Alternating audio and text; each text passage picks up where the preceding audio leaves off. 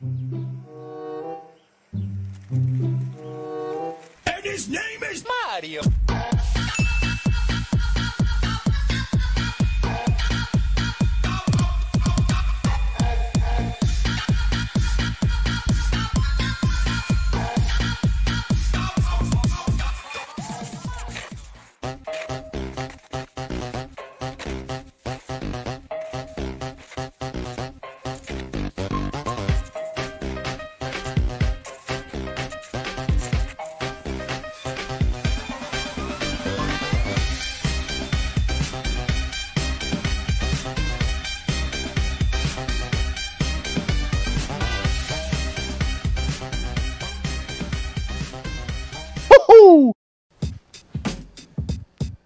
房子卖的慢了吗？在二月份大瀑布地产报告这期视频里，我曾经说，三月初开始，每天都有六十到七十个房子在出售，但是每天卖出去的房子只有三十到四十个。如果按照这样下去，市面上每天会有三十多个房子剩下，一个月下来就是有一百多套房子在市面上卖不出去。两三个月之后，市面上很快就会出现供大于求的情况。各位卖房的朋友，现在要注意自己的定价了。难道真的是卖不动了？与其我们在这里瞎猜，不如找数据研究一下。今天就让我们来看看过去两周大瀑布地区的地产市场究竟有什么变化吧。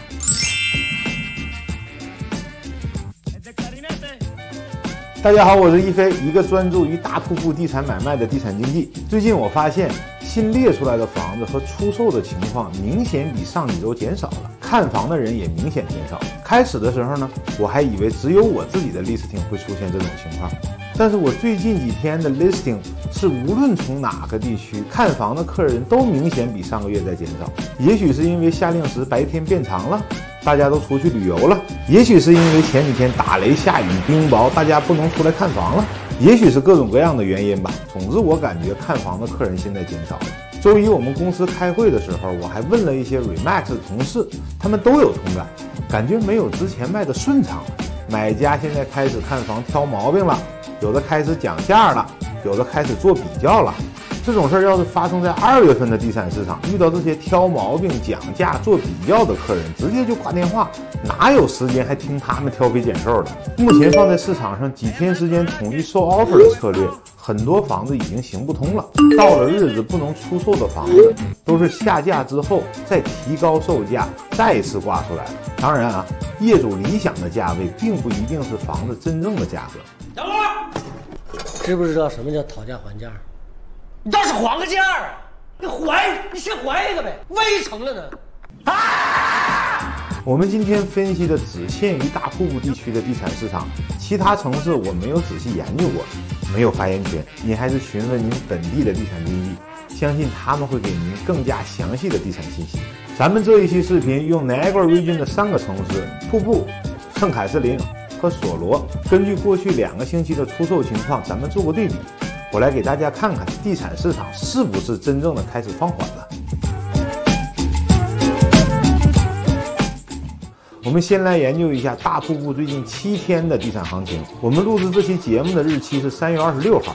我们先来看看三月十九到三月二十五过去七天的情况。Niagara Falls 一共出售了三十四套住宅，高于叫价五万块钱以上的房子一共有十四套，占比在百分之四十一。出售出去的物业平均加价是三万三千三百七十八，平均列出的价格是五十九万三千三百五十，平均物业售出的价格是六十四万六千九百五十九。再来看看三月十二到三月十八这七天的地产市场，Niagara f a l l 一共出售了三十七套物业，高于叫价五万块钱以上的房子一共有十八套，占比在百分之四十八，平均售出物业加价是五万三千六百零八。平均列出的价格是五十九万三千二百六十一，平均物业售出价格是六十二万六千六百四十。在平均列出价格相差不大的情况下，售出价格反而少了两万，而少的这两万又正好是加价少的这两万，这说明了一些什么问题吧？再来看看圣卡斯尔的情况，还是我们先用三月十九到三月二十五这七天的时间，圣卡斯尔一共售出了五十套物业。高于叫价五万块钱以上的物业一共有三十二套，占比在百分之六十四。售出的物业平均加价是六万五千二百九十，平均列出的价格是六十一万三千五百零二，平均物业售出的价格是六十七万八千七百九十二。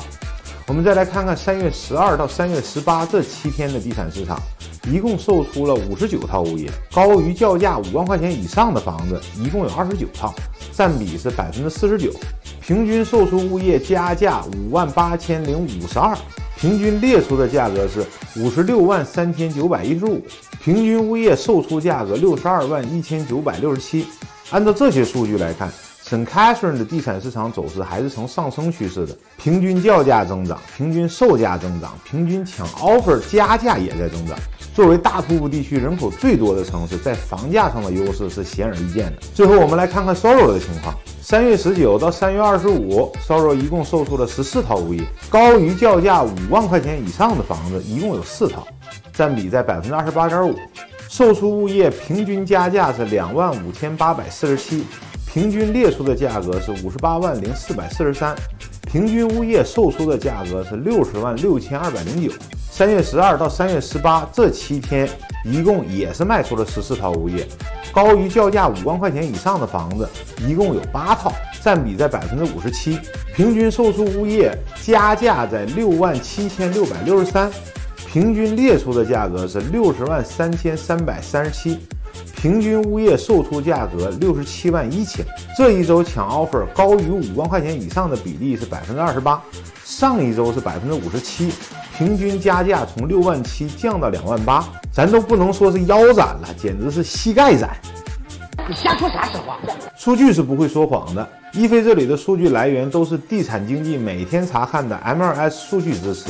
虽然我们这里分析的只是一个大概，咱们并没有讨论具体房型啊、户型啊、面积大小啊、地区限制，我们只是随机抽取的每一周的交易。通过上面这三个城市的数据来看。除了省卡市的房价还在呈上升趋势之外，其他城市无论从叫价还是从卖出价格，甚至从加价的范围来看，都逐渐开始呈现了下降趋势。也许三月份的地产市场总体价格还是有所上涨，市场已经开始逐渐冷却，慢慢开始走向下降趋势。如果有关注过我的朋友，可以查看我之前做过的一期视频，哪个月的房子卖得最快？在这期视频里。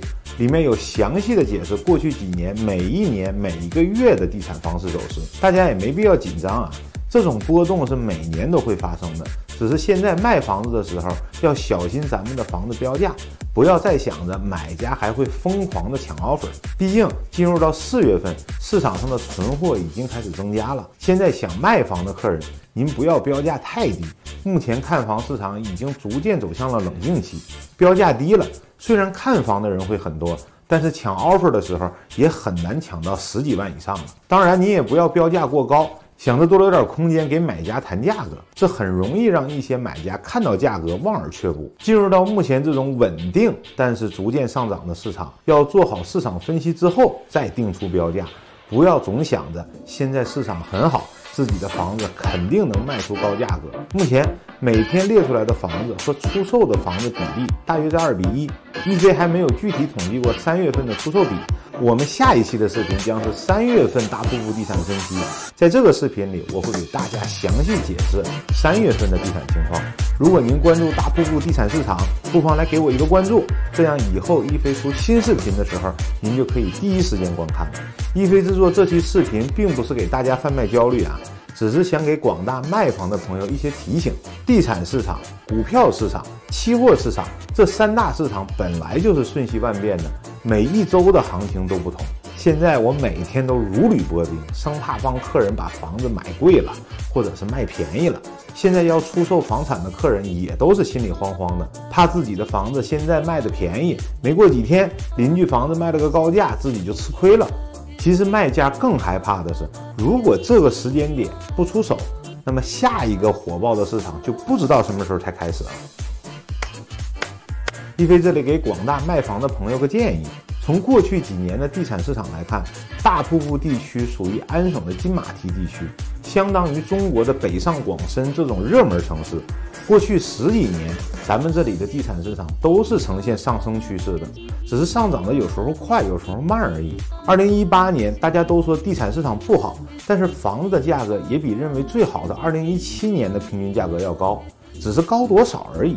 如果您的物业是二零一七年花了三十万买的，二零一八年卖了三十二万，您当然觉得是赔钱的。但是如果您的物业是两千年的时候花了十几万买的，二零一八年出售是三十二万，二零一七年出售了三十万，您能说二零一八年的市场是不好的吗？地产市场的好坏只是相对的。像今年二零二一年这种地产市场，主要是由新冠疫情导致人们在家办公需要更大的工作空间，同时人们对物价上涨的恐慌所造成的。全世界的不动产都在上涨，属于几十年难得一见的地产盛况。而且金马蹄地区始终是安省发展的主攻地区，无论是政策倾向，还是人口流向，甚至是加拿大本身的地域限制，都造成了金马蹄这里一定是人口主流的涌入地区。有人口的流动，就不怕房地产交易不动。地产市场总是波动性上涨的，起起落落是很正常的。每年、每个月、每个小时的交易都会有所变化，咱们只要把握好整体的大方向就行了。不要想着一定要最高点售出、最低点买入，说白了就是不要贪心太大。毕竟运气这个东西看不见摸不着，不是每个人都有的。肚子里消化一块肉，食道里卡着一块肉。喉咙里还噎着一块肉，嘴里还嚼着一块肉，筷子里夹着一块肉，眼睛还看着一块肉，还说为啥这些肉不够吃呢？这种客人是最容易出问题的。咱们先消化自己手里的物业，再去掉相对低产的物业。换成市面上更加优质的物业，这才是投资的正确方法。有的客人想出售物业之前，我一般会建议客人先定一个自己心里的理想价位，然后根据周围目前出售的物业，我来帮您分析一下您物业本身合理的一个市场价格，看看这个市场价格能不能满足您心理预期的价格。如果两者刚好碰上，咱们再出售这个物业。如果市场价跟您心里的价位相差巨大，那就暂缓上市，免得大家都浪费感情、浪费时间。如果有一定的差距，但是并不是相差很多，目前又是看涨的地产市场，甚至可以放在市场上试试水，测试一下是否能达到卖家的心理价位。这样的操作呢，您就要注意，就算出售之后还有再多的利润，自己心里也要平等接受。咱们恭喜这些新买家找到了理想的投资，我们呢也拿到了理想的价位，这样大家都高兴，不是吗？没想到被你看穿了。好了，这期的视频就录到这里了。欢乐的时光总是短暂的，如果您喜欢这期视频，请您点个赞，给我个鼓励。如果您喜欢一飞的地产视频，请您按个关注，也是对我莫大的支持。我是一飞，一个专注于大瀑布地区房地产买卖的地产经纪。如果您想了解更多的大瀑布地区的地产情况，请您加我的微信和电话。我们下期再见，拜拜。